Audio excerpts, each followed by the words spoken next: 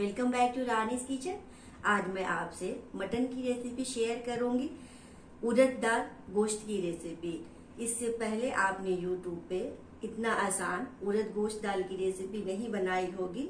एक ही बर्तन में हम बनाएँगे और बहुत ही मज़ेदार बनता है। दोस्तों, आपने हमारे चैनल को अगर सब्सक्राइब कर रखा हो तो उसके लिए बहुत बहुत शुक्रिया। अगर नहीं किया हो तो प्लीज़ सब्सक्राइब करें और बेल आइकन को प्रेस कर दें। ताकि हमारे नए वीडियो की नोटिफिकेशन आ सके और वीडियो को लाइक शेयर और कमेंट करना न भूलें। तो चलिए शुरू करते हैं।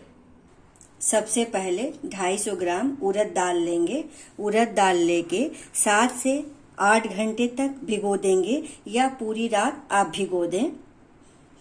कुकर लेंगे। इसको कुकर के अंदर ऐड कर लेंगे। 250 ग्राम मटन जाएगा इसके अंदर। मटन को अच्छे से धुल लिया है हमने। एक स्पून अदरक, एक स्पून लहसुन पेस्ट,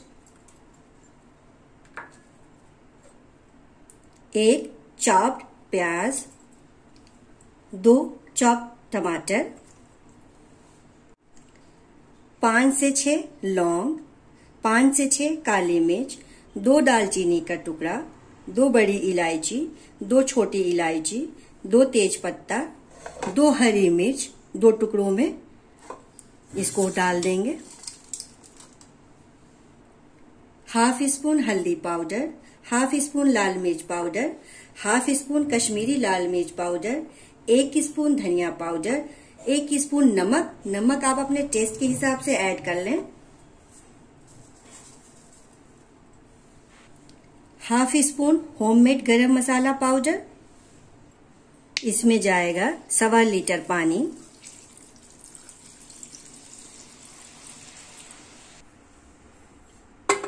कुकर का ढक्कन लगा लेंगे, फुल फ्लेम पे एक सीटी लगने देंगे। एक सीटी लगने के बाद 25 से 30 मिनट लो फ्लेम पे ऐसे ही पकने देंगे। कुकर का प्रेशर पूरी तरह से निकल चुका है। हमने चेक कर लिया है, गोश्त भी गल गया है और दाल भी गल गया है। इसमें ऐड कर देंगे फ्रेश, एक प्याली मलाई। मिक्स करेंगे और इसको मीडियम फ्लेम पे पाँच मिनट तक पकने देंगे। पाँच मिनट मीडियम फ्लेम पे हो गया पकते हुए, इसके अंदर डाल देंगे कटा हुआ हरा धनिया। मिक्स करेंगे।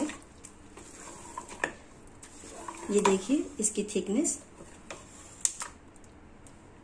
इसमें जाएगा एक प्याली देसी घी, एक स्पून जीरा, थर्टी सेकेंड चटकने देंगे, दो सूखा लाल मिर्च,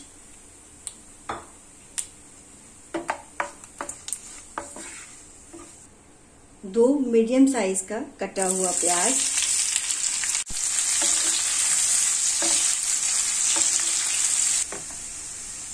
प्याज लाइट गोल्डन हो गया है।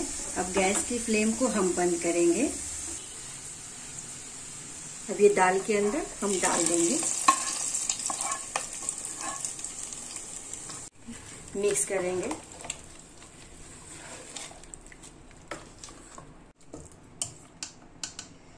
उड़द गोश्त रेडी है।